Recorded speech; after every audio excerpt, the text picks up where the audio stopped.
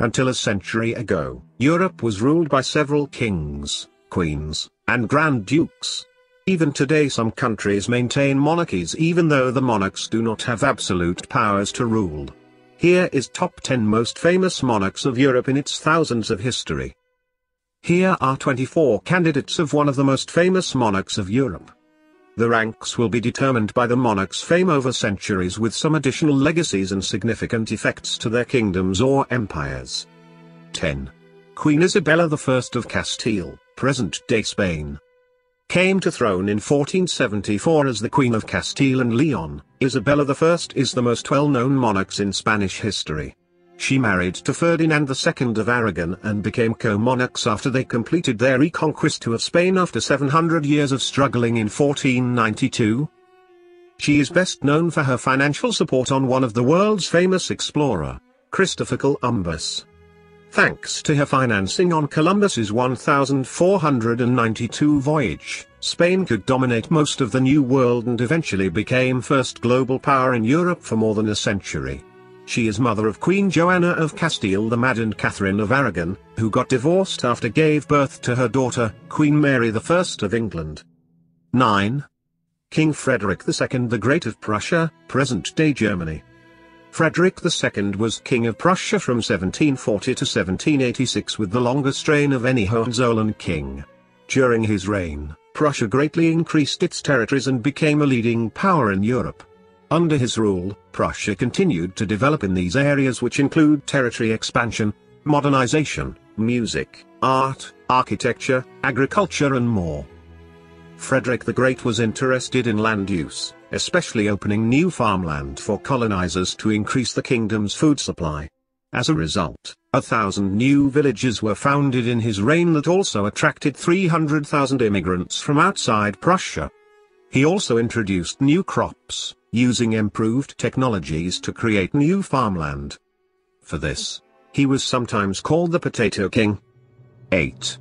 Nero the Roman Emperor Nero is the fifth emperor of the Roman Empire and the last in the Julio-Claudian dynasty.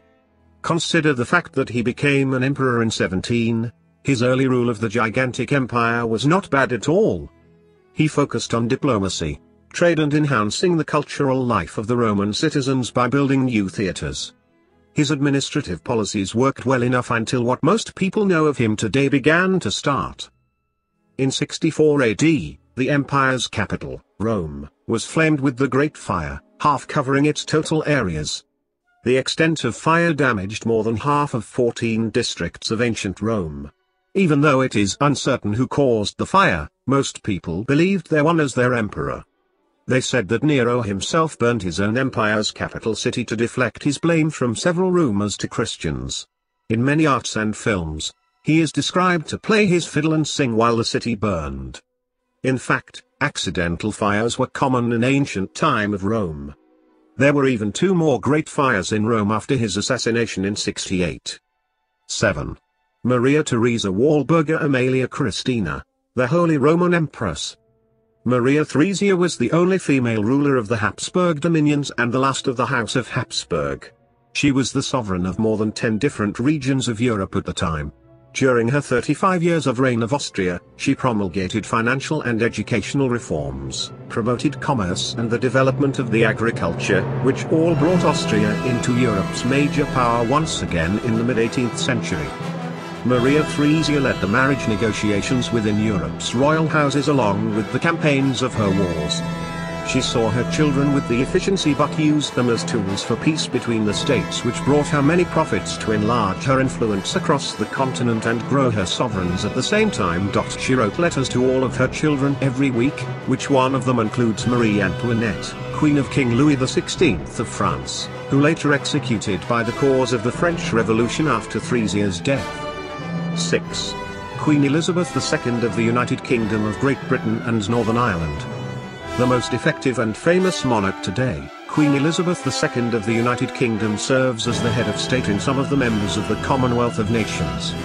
She's currently the longest reigning monarch in the British history with 64 years of reign from her coronation in 1952. During her time decolonisation movements occurred effectively within the colonies of the former British Empire. Before entering the 21st century, Britain had lost most of the colonies as a result. However, Britain's economy rapidly grew after 20 years from World War II and became the fifth largest economies of the world today. Britain remains as one of the most stable state on the planet. Elizabeth II still remains as the unbreakable head of the British monarchy and maintained it the most influential royal families in the world. 5. Charlemagne the Holy Roman Emperor, also called the King of the Franks. Charlemagne conquered and united large part of Western Europe. He laid the foundations for modern-day France, Germany, the Low Countries, and Italy. He became the king of the Franks in 768 and king of Italy in 774. In December 25, 800, Charlemagne was crowned to be the first recognized emperor in Western Europe since the fall of the Western Roman Empire in 476. He is also founder of the Carolingian Empire. Charlemagne has been called the father of Europe as all Holy Roman emperors and French and German monarchies considered them as Charlemagne's descendants.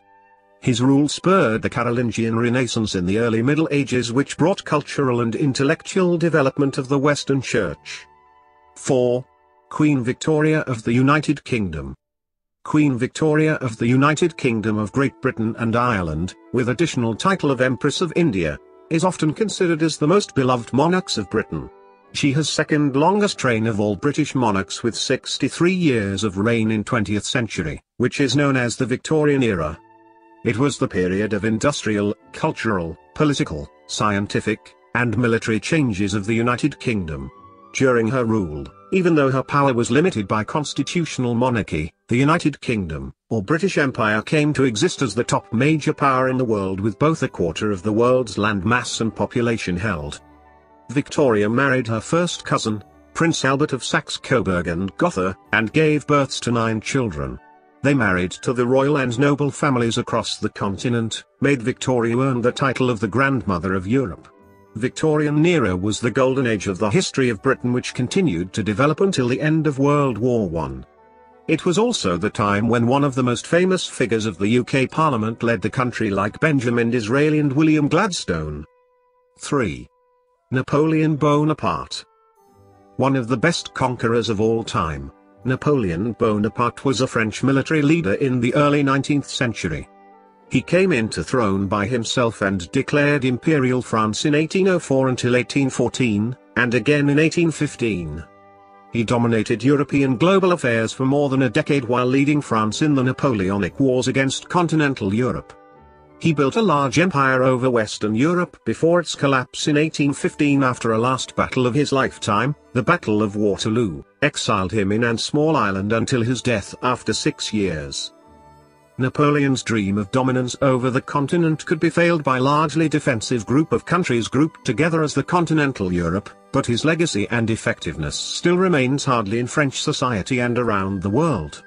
He brought liberal reforms and policies around Europe, and of course, his most well-known legal achievement, the Napoleonic Code, has influenced the legal systems of more than 70 countries around the world. It was the idea that has created judicial branches of modern world with equality before law, religious toleration, property rights, and much more. 2. Henry VIII of England Henry VIII is most famous male monarchs of all British history. He ruled England and Ireland for about 40 years in early 16th century. He is known for his six wives and their dramatic stories, Wars of Love and Affair, which concluded with two of his wives executed and two of them divorced.